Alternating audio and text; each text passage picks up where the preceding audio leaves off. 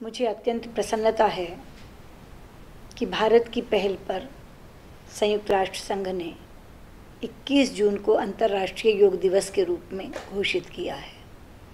ये दूसरा वर्ष है जब हम देश और विदेश में बहुत धूमधाम से अंतर्राष्ट्रीय योग दिवस मनाने जा रहे हैं।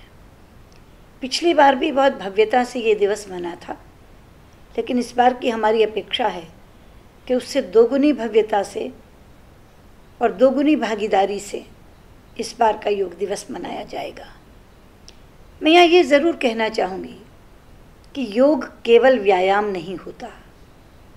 योग व्यायाम और अध्यात्म का सम्मिश्रण होता है। इसीलिए व्यायाम के बाद व्यक्ति थकता है।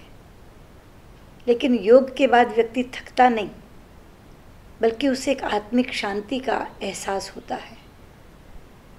यदि आप प्राणायाम से योग शुरू करें और योग निद्रा या शवासन से उसका समापन करें तो उसके बाद आप पूरी तरह तनाव मुक्त हो जाते हैं और आपके शरीर में एक नई ऊर्जा और नई स्फूर्ति का संचार होता है।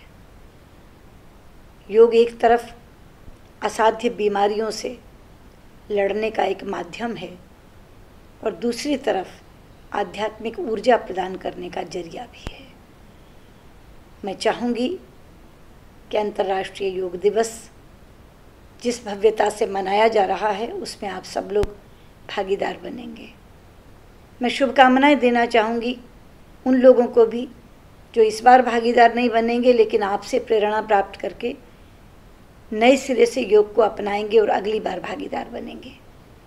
अंतर्राष्ट्रीय योग दिवस को मनाने के लिए हमने अपने सभी विदेश स्थित दूतावासों में भी बहुत बड़ी तैयारी की है। देश के स्तर पर भी बहुत बड़ी तैयारी हुई है। इस अंतर्राष्ट्रीय योग दिवस की सफलता के लिए आप सबको मेरी बहुत बहुत शुभकामनाएँ।